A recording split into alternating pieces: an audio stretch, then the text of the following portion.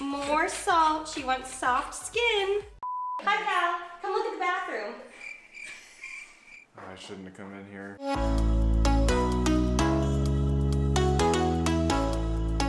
we all know, I love cleaning and I thought for today's video we could test out some new hacks and also I'll share with you guys some of my favorite cleaning tips and things that I use to keep your kitchen, your bathroom, your bedroom, everything clean. Shout out to The Real Real for sponsoring this video. Get some baking soda, get some vinegar. Let's go.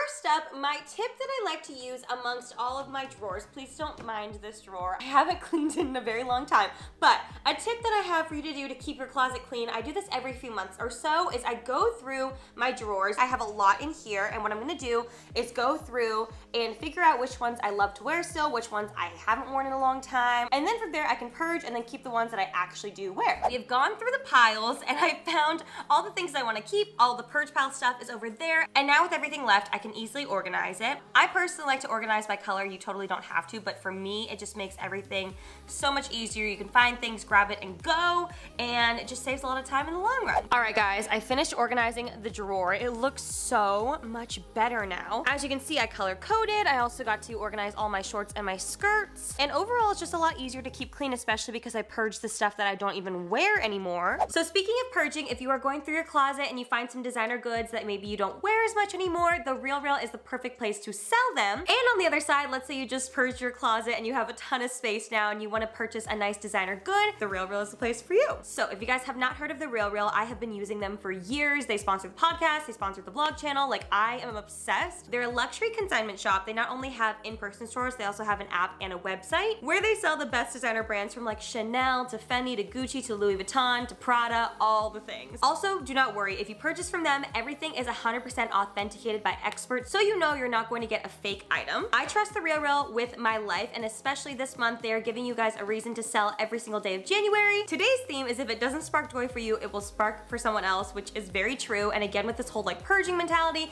the Marie Kondo mentality, it is amazing. In particularly, my off-white bag. They will not Designer goods. They would definitely know that this isn't real and that Alicia made me this. I love this bag so much. It's the Gucci wallet on a chain. I think that's what it's called. I love this bag. It's so beautiful, but honestly, I just don't wear her anymore and I don't really wear gold much anymore. So if you've been wanting this bag and you specifically want one from me, check it out. It'll be on the Real Real very soon. There's multiple ways to sell. You can drop it off at their stores. You can also ship it in, drop it off curbside, whatever you guys wanna do. It's basically just like an amazing company and if you're looking to consign designer goods, this is the place. Also, this month is the perfect month to sell if you've been thinking about it because this month you will get actually $500 store credit to The Real Real if you sell. I'm gonna be selling this month. So if you guys wanna learn more about selling with The Real Real, click the link down below, purge your closets, have some fun. Let's get on with the tips. First up, we are going to start in the closet. You are gonna need some dryer sheets. If you don't wanna use dryer sheets, you can use those little wool balls, put some essential oils on it, use whatever you want. You're just going to open up a drawer if you have a stack of clothing. All you're gonna do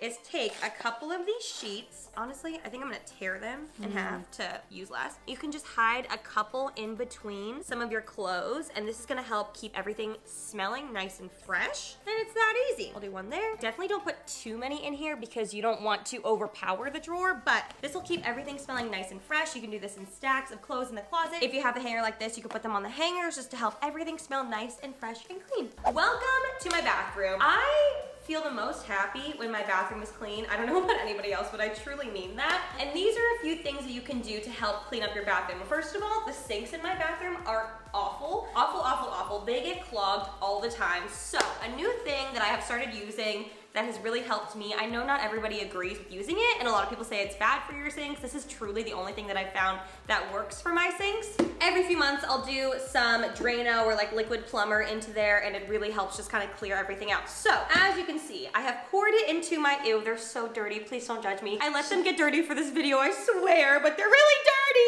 dirty, ew. Sorry, I swear. I let that build up for a while for this. But with that being said, about 15 minutes ago, I poured in some liquid plumber into the sinks. We are boiling some water because you need to pour boiling water down the sink. So this is gonna help clear everything out. It smells like chicken noodle soup. Mm-hmm. Doesn't it? Is that good?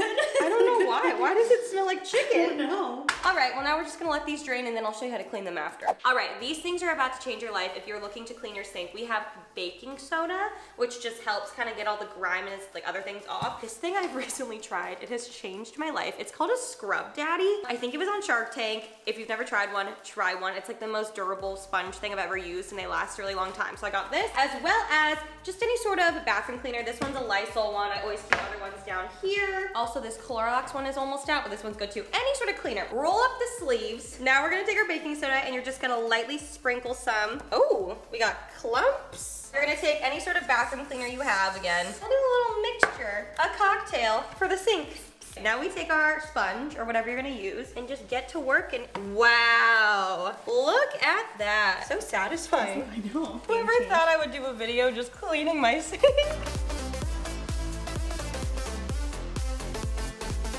Ooh, I'm having fun.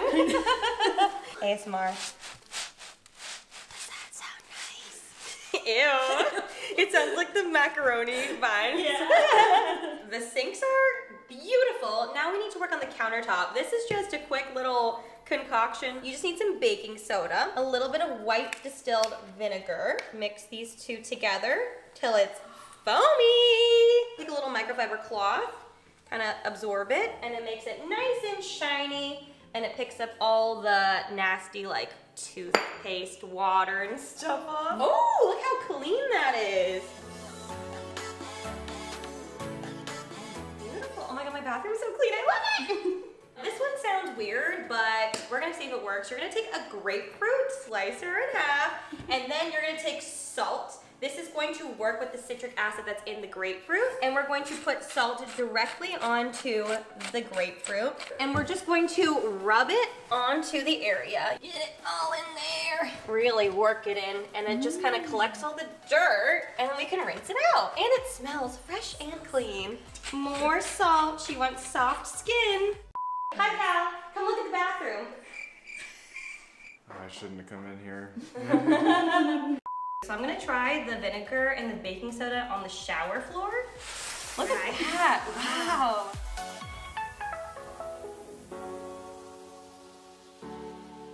It smells like Subway salt and vinegar chips and now I want that. She looks fantastic. Now we need hot water.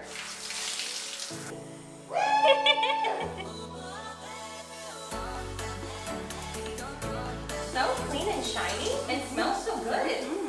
This shower has not looked this clean since I moved in. So try that and let's do the bathtub now. Oh my god, so clean. Mm. Wow. Random hack to spruce up the trash can smell. Take a cotton ball and then take some essential oil. We're gonna do a few drops right onto the cotton ball. Oh, it smells so good. And then you can just drop it into the trash can. It'll absorb and it'll make your trash can smell a lot fresher until you're able to take it out. Moving on to the bedroom where the magic happens. Today, we are going to spruce up the mattress a little bit. This is really, really easy to do. It helps just kind of freshen up the mattress. Obviously, you should be washing your sheets and your pillowcases very regularly, but a mattress doesn't fit in the laundry machine. So this is a good way to kind of freshen it up. We need to start by taking off all of the pillows and things off the bed. Dun, dun, dun, dun. So you gotta take the sheets off and we're gonna wash these.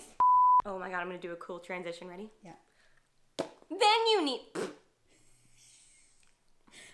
Then we need a box of baking soda. This is going to be our best friend throughout the video today. This does wonders. Not only does it make your, yep, it's definitely in my mouth.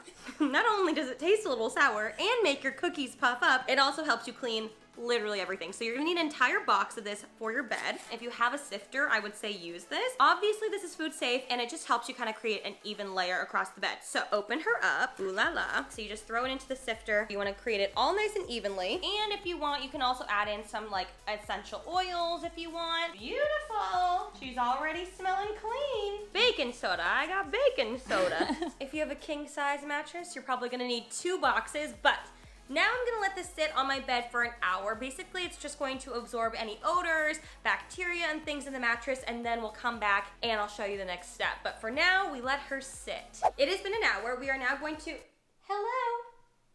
Hi. You want your bed back? Give me one minute. We are going to vacuum up all the baking soda now, and I just put this little attachment onto my vacuum. Suck it all up. Kind of satisfying. I know.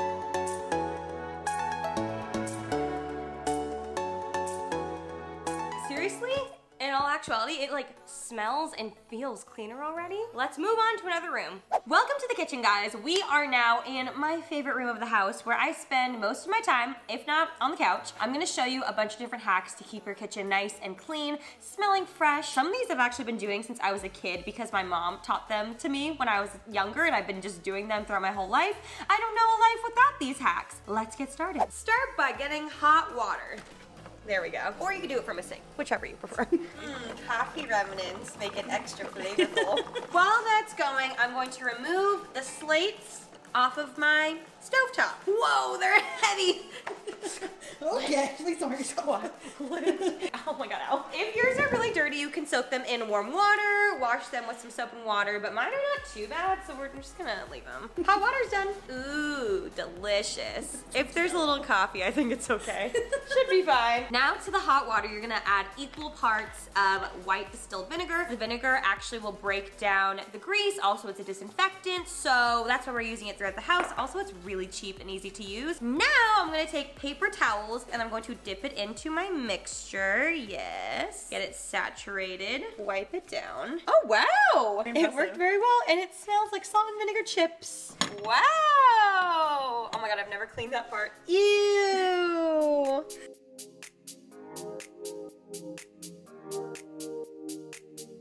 Now I'm just gonna take a dry paper towel, wipe her all down so it's nice and dry. Wow, it looks really uh-huh. clean. I am very impressed. Moving on, a way to clean your microwave. I don't know about you guys, but my microwave is always really dirty. I'm going to mix equal parts again of vinegar and water. This time the water does not have to be hot. And now we're gonna microwave this for six minutes. It's gonna get all steamy in there and help just break down any grease and nasty stuff in my microwave, which I'm sure it's really gross. All right, so we're gonna open our microwave.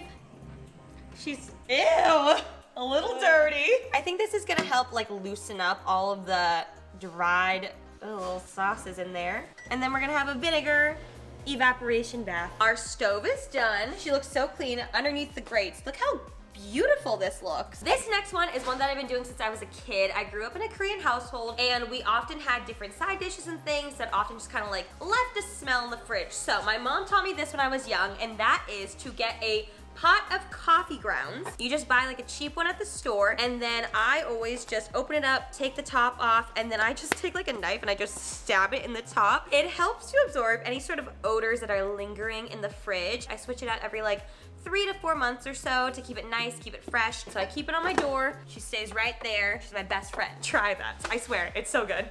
It smells like a McDonald's breakfast sandwich in the microwave. I'm getting nervous. it was bubbling. It smells kind of good though, actually. That smell is We'll let her keep vinegary. going. We're halfway there. Another thing that I love to do, and I've showed this before on my vlog channel before. First of all, I just love lemon water as it is. I drink it pretty much every single day. It's so good. I will just take my lemons and squeeze them into my pitcher. Our lemons are juiced. I'm gonna make my lemon water out of this now, but I have all these lemons now that I don't wanna waste. So, and I'll take them over here. You throw them down your garbage disposal. Run some water over it. Turn it on. And it helps make your kitchen smell so nice and clean and fresh. It smells so good. It smells so good, I know, right? Essential oils who? The grand reveal. Oh. Now with a little bit of the vinegar water and a paper towel. Whoa. Oh, it comes right off. Wow, so clean. And sanitized. I don't want to fully waste this mixture, so I'm going to actually throw it in my sink, if you can see.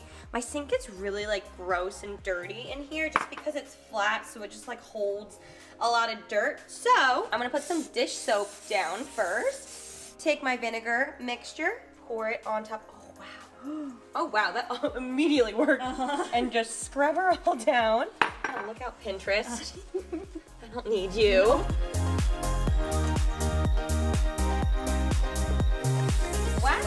Wow, okay. And it looks brand new. Yeah.